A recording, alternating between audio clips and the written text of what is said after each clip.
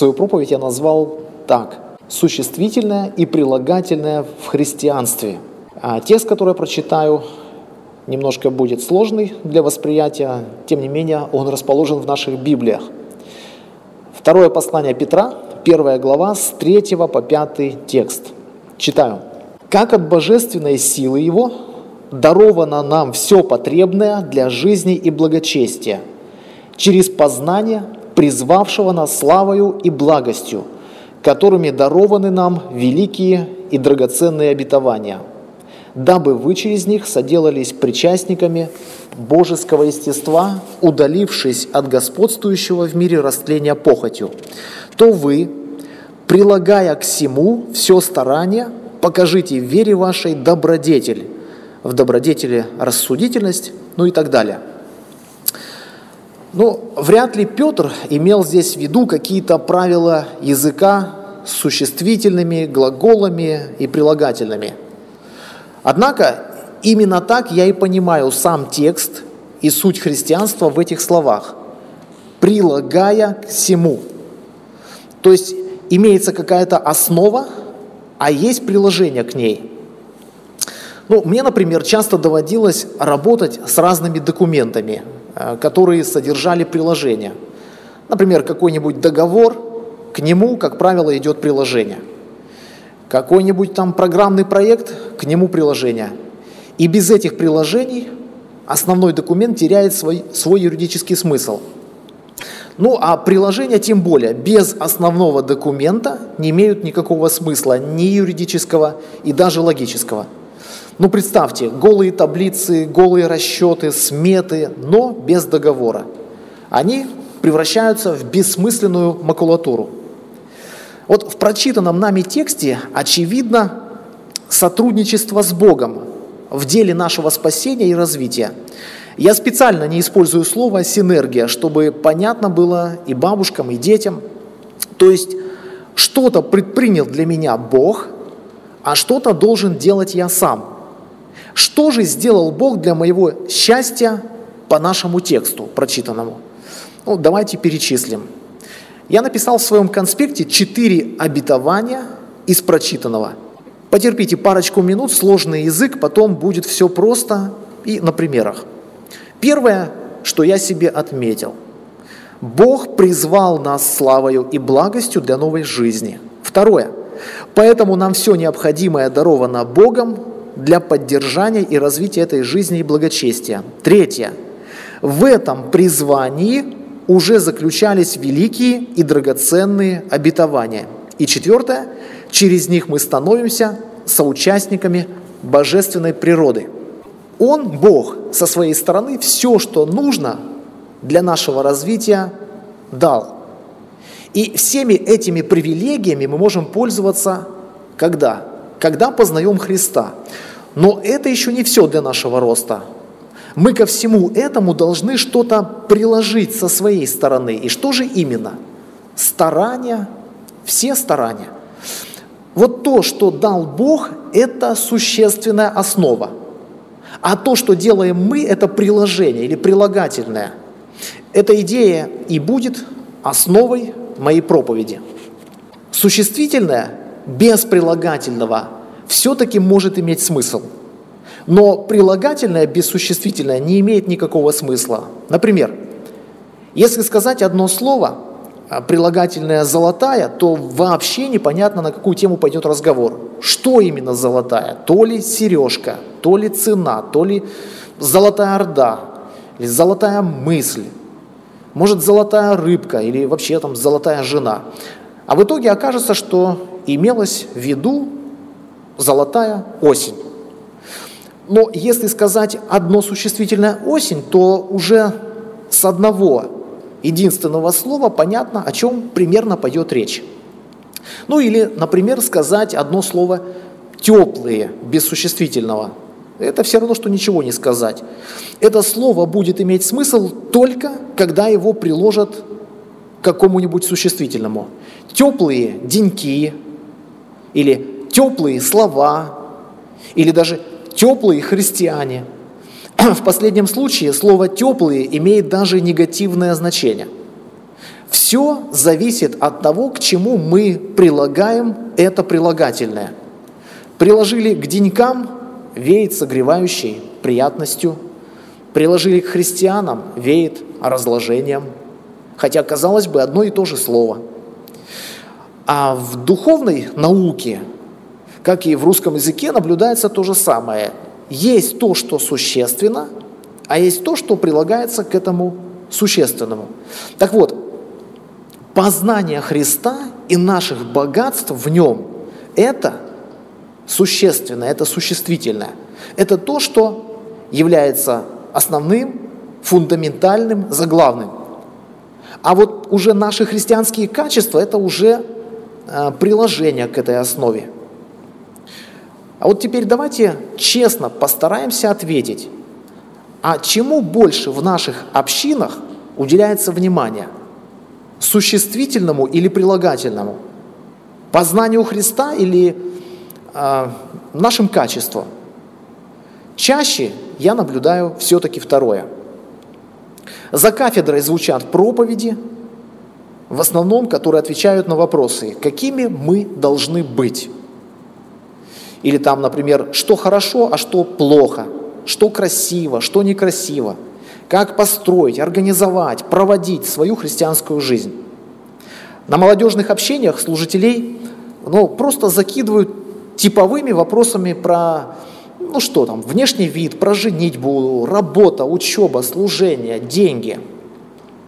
Но, к сожалению, так мало вопросов о личности Христа, о наших сокровищах в нем, о богопознании. Вспоминаю одно из а, молодежных общений на дому на Камчатке, когда жил. Мы любили у кого-нибудь собираться после воскресного богослужения. На таких общениях частенько бывали молодые люди из мира, парни, девушки.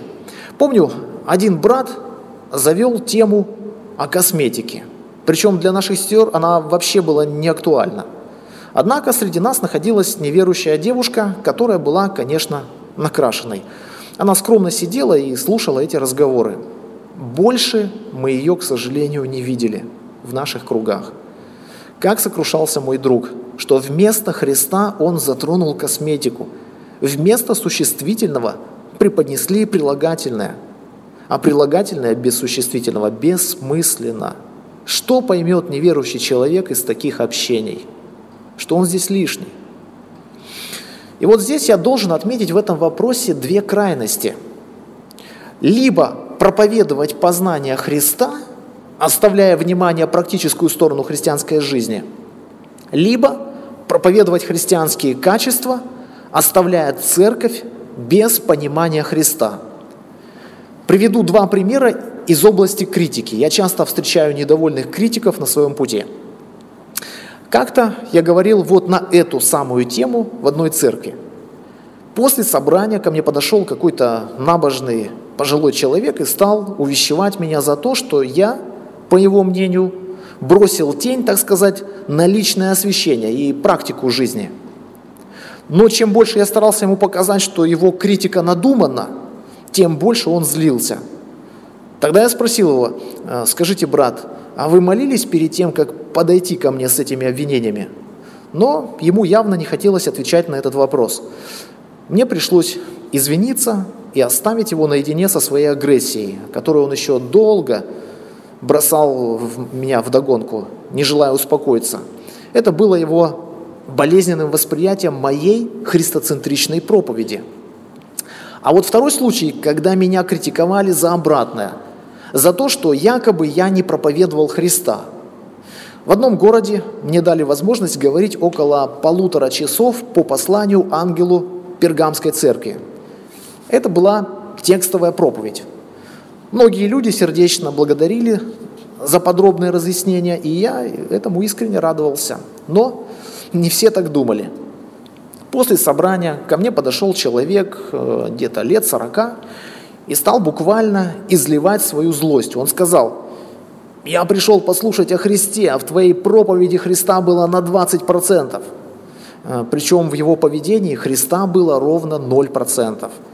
Я попытался объяснить, что я шел по тексту, и если написано в тексте «ты живешь там, где престол сатаны», то вряд ли уместно будет в этот момент говорить о любви Христа к разбойнику или там, о возвращении блудного сына к отцу. Однако неадекватности этого критика, казалось, не было границ. Он вел себя еще агрессивнее того пожилого брата. И я задал ему тот же вопрос. Я, кстати, наверное, раза два всего задал их в жизни. Вы молились перед тем, как подошли высказать свое неготование? Он на это цинично ответил. О чем? О том, чтобы понимать так, как ты понимаешь. И еще он сказал, мы, наверное, верим в разного Бога. И вот здесь, кстати, этому я почему-то не стал возражать. А свидетели этого разговора потом мне объяснили, что это, оказывается, не какой-то уличный прохожий, невоспитанный мужик, а местный штатный проповедник. При этом сказали, да, не обращай на него внимания. Но я все-таки обратил внимание. Почему? Ведь человек ратует за то, чтобы проповедовать только Христа. Но при этом далеко не братская агрессия извергалась у него прямо через головной кратер – это другая крайность, когда под девизом «Только Христос» люди ревнуют нечисто. А если плоть нашла лазейку, она может себя проявлять даже под знаменем Христа, чтобы эффектно смотрелось. Помните Коринфян? Я Павлов, я Аполосов, я Кифин. И там еще были, кто заявлял, я Христов. Один пресвитер сказал, это самая проблемная группировка – и я согласен. Под именем Христа разрывали его тело. Жуткая реальность.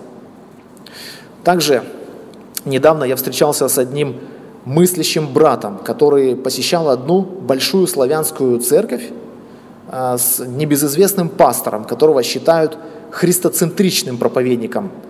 Однако я был удивлен услышать, какой низкий уровень практического христианства в их церкви – разнузданность, либерализм, слабое братолюбие и тому подобное. И об этом я слышал не однажды и от разных людей. Поэтому христоцентричные проповеди – это еще не залог успешной церкви. Это существительное без прилагательного. Поэтому, имея в виду эти страшные вещи, я просто буду говорить о другом перекосе. Э, то есть об одном перекосе, когда мы проповедуем приложение, оставляя без внимания основу нашего упования, самого Спасителя Христа. Ну, почему? Потому что эту крайность я все-таки встречаю чаще. Итак, насколько же важно познавать Христа?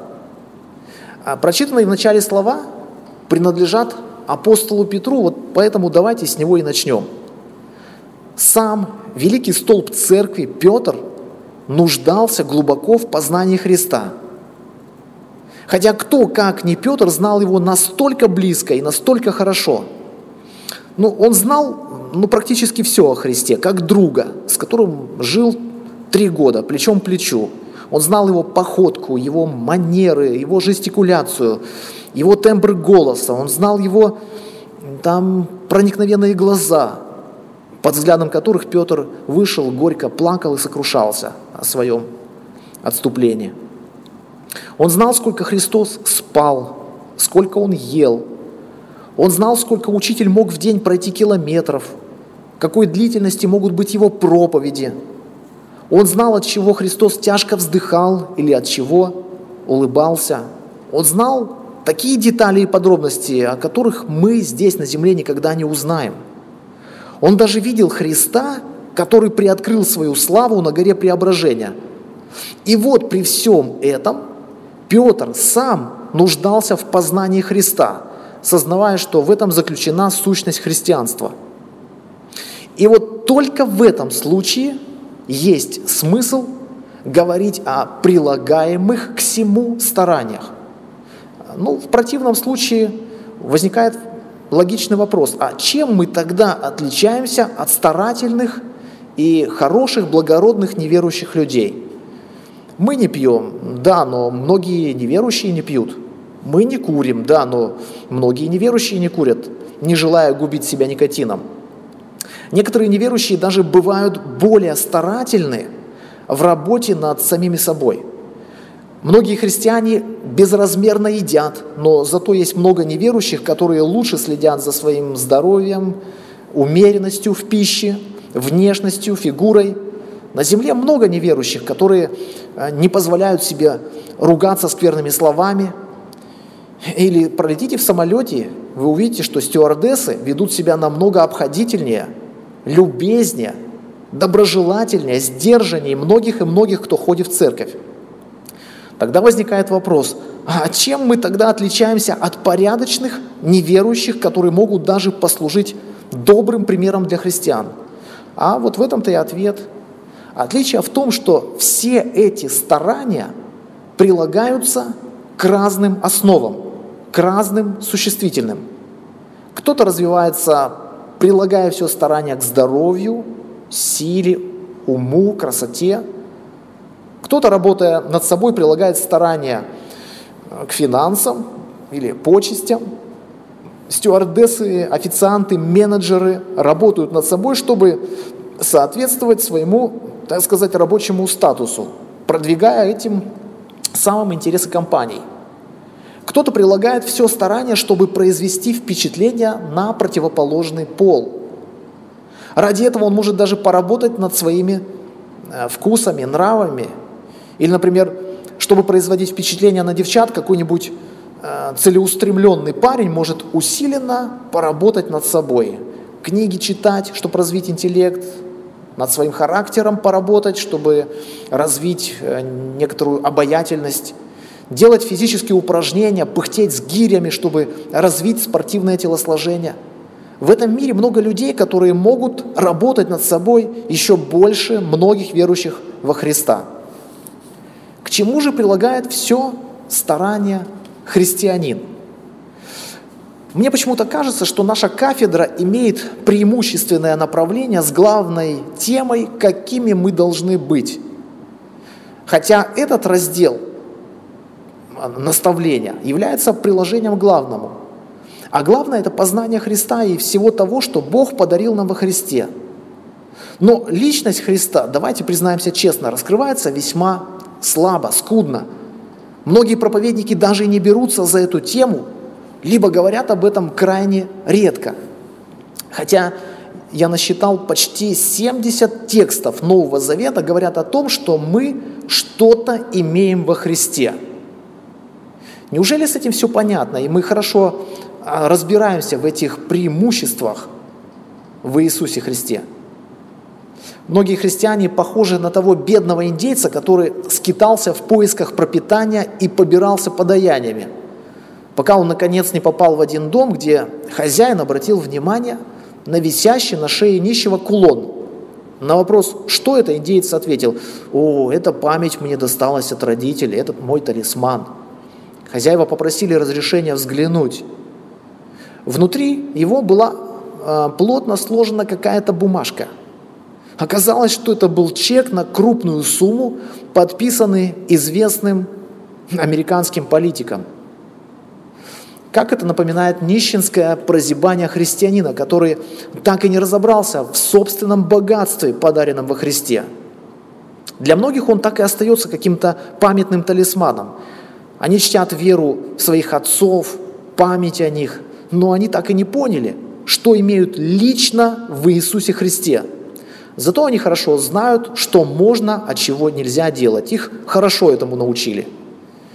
К нашему величайшему и наикраснейшему стыду современная кафедра не только слабо проповедует и раскрывает самого Христа, но порой даже преступно отвлекает от Него. Ну, например, самим ораторством или краснобайством. По-моему, это было в XIX веке. Давно уже читал. Один проповедник так увлекал э, слушателей своими речами и яркими выступлениями, что однажды кто-то в аудитории прям не выдержал, встал и громко прервал этого великого оратора. «Сойди с кафедры, заслоняешь Христа». Какой ужас! Есть ли более позорный упрек для христианской кафедры – и может ли быть лучшим вознаграждение для проповедника, когда слушатель э, умиляется и восхищается самим Христом?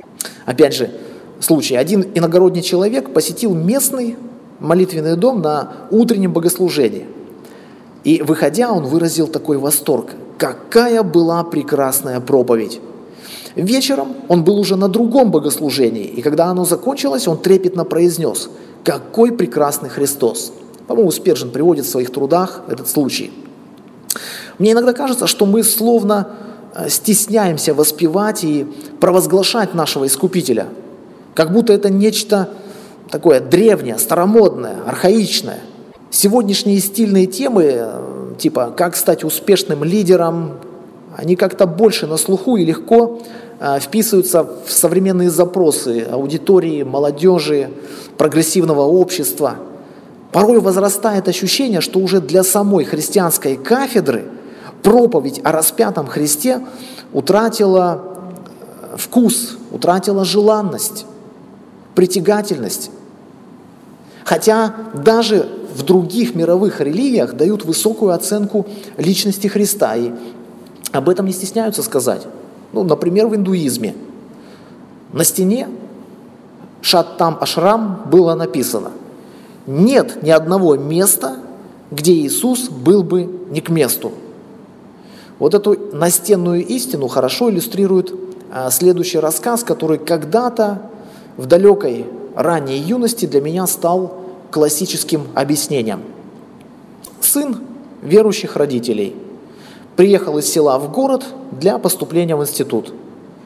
И, конечно, как оно часто бывает, студенческая жизнь быстро взяла хлопца в оборот. И он постепенно стал забывать о Боге, о своем воспитании, о своей семье.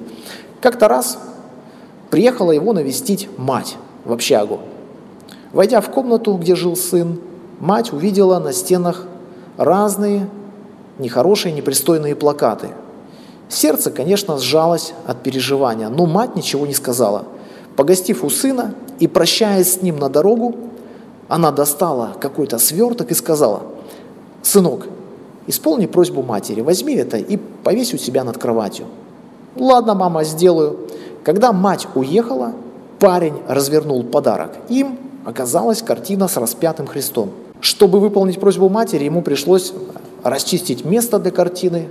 Когда же он ее повесил, то оказалось, на его взгляд, что распятый Христос и мирские плакаты, ну, как-то совершенно не сочетаются. Тогда он решил освободить от них всю стену. Ну и в конце концов, как вы догадываетесь, впоследствии в комнате вообще не осталось ни одной непристойной картины – даже мысль о богоприсутствии уже сама по себе вытесняет человеческий грех. Даже мысль о Христе, она уже сама по себе вытесняет грех. И эта мысль о Христе имеет такую преображающую силу, что даже любой психолог позавидовал бы этому могущественному влиянию на сердца, как когда-то позавидовал из деяний Симон Волх, видя, что происходит с людьми под действием проповеди о Христе. Вспоминаю свою рабочую деятельность в государственном учреждении. И вот я когда-то был включен в районную комиссию по делам несовершеннолетних. И в нее входили там представители разных государственных учреждений. Мы разбирались с трудными ситуациями различными, где э, виновниками были подростки или их родители – и вот однажды во время совещания нашей комиссии представитель медицины стала бодро озвучивать количество человек, прошедших кодирование от алкоголизма, и сколько программных средств на это было затрачено. Она отчиталась, и у меня вдруг разыгрался интерес. Я спросил, а сколько тех, кто получил освобождение? И она с грустью назвала, ну, просто ничтожно мизерный процент. Я уже не вспомню тех цифр, но зато хорошо помню, как я долго поражался, сколько денег тратится на эти программы без каких-либо видимых результатов.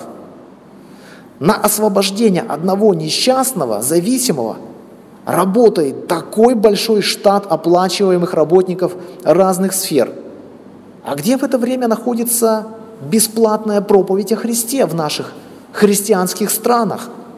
При этом кто сможет сосчитать миллиарды людей, которые за два тысячелетия проповеди о Христе изменили жизнь и свое отношение к греху. Те, кто пережил освобождение от разных зависимостей через принятие Христа в свое сердце. У меня есть друг, ну, из таких уже конченых наркоманов, которые безнадежно погибали, пока в их жизни пришел Христос. Где сегодня эта проповедь о Христе? Кто о нем расскажет так, что умирающий разбойник ухватится за него, как за единственное и самое надежное спасение? Кто научит христианство жить Христом? Таких, к сожалению, немного. А ведь в этом и есть существительная суть христианства. Давайте вспомним гонителя Савла, гонителя церкви. Когда небесный свет осиял его на пути в Дамаск, он в страхе задал два важных вопроса. «Кто ты, Господи?» Второй вопрос – «Что повелишь мне делать?» И при этом порядок, хронология вопросов абсолютно была расставлена правильно. И этот злой Савл после этого стал величайшей личностью всех времен и всех народов, бесподобным Божьим сосудом благодати. А вот теперь перед нами другой юноша из 18 главы Евангелия от Луки. Он был хорошим с раннего возраста. Он идет к Иисусу, чтобы задать второй вопрос Павла. Что мне делать? А первый вопрос Савла, кто ты, Господи, его почему-то мало интересует. Ему важно быть э, таким хорошим, чтобы жизнь вечная от него не ускользнула. Он хочет ее наследовать. Вроде бы с виду кажется, что все здорово, какой молодец, но Христос почему-то первыми словами задает, ну, казалось бы, отвлеченный вопрос. Что ты называешь меня благим? Никто не благ, как только один Бог. Однако этим вопросом Христос красиво и мудро обратил внимание этого праведника на того, с кем юноша вступил в разговор, с кем он имеет дело. И это более существенный вопрос. Юноша начал искать свое спасение вот по нашей проповеди в прилагательном. Каким я должен быть? Или что мне нужно еще сделать, чтобы спастись? Этому хорошему человеку крайне не хватало сосредоточенности, концентрации на личности Христа, на его познании. И вот чтобы развенчать поиски богатого юноша, юноши, поиски спасения в прилагательном, без существительного, то есть в своих праведных делах, Христос одной только фразой вскрывает падшее состояние грешника, не способного достичь спасения вне Иисуса Христа. Все, что имеешь, продай и раздай нищим, и будешь иметь сокровища на небесах.